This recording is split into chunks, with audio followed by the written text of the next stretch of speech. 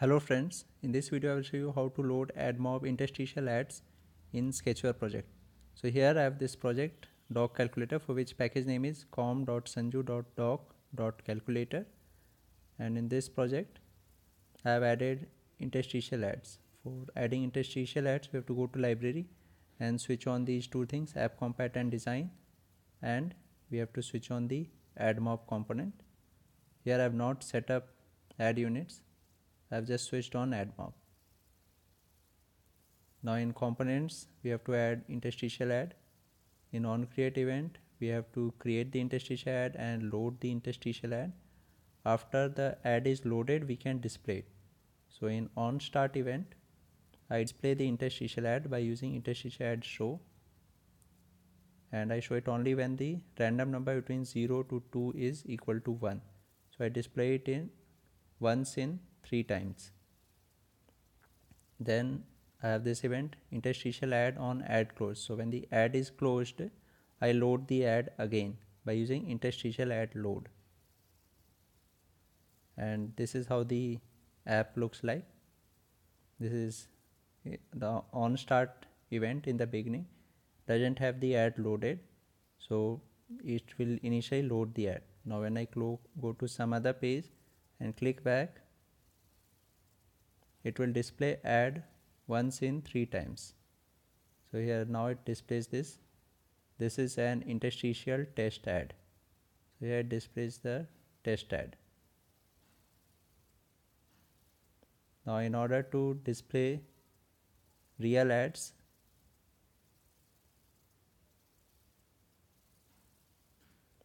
now it will take time to load the ad again. And once the ad is loaded it will display the ad. Now in order to add real ads, we have to register our app in AdMob. So we have to go to AdMob. Here we have to go to apps section and we have to add the package name of our app. So here I have already added my app which is doc calculator along with its package name and we have to activate it. So here you can see that it has one active ad units. And after create adding the app we have to create an ad unit id for which we have to add ad unit so here i have added this ad unit called doc underscore interstitial and the number below is the ad unit id this uh, ad format is interstitial. Ad unit level no cap. App level no cap. So this is the place where the ad unit id is and here we can add more ad units id so after doing all these things in admob we have to come back to the sketchware.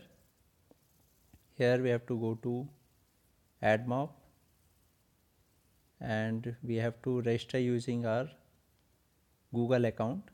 After that we have to click on link AdMob account. When we click on link AdMob account, here it will show,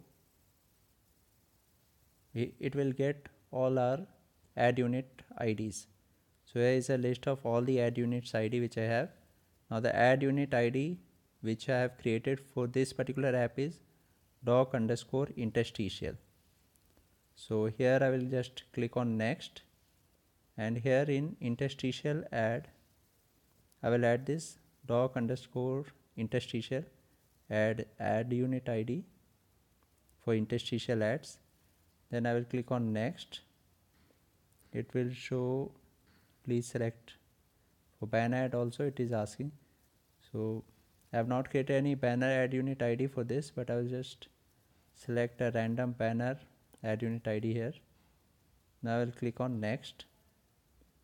Then it asks for configure test device. Here when I click on plus it will automatically show device ID so I'll just click on add here and then I will click on next.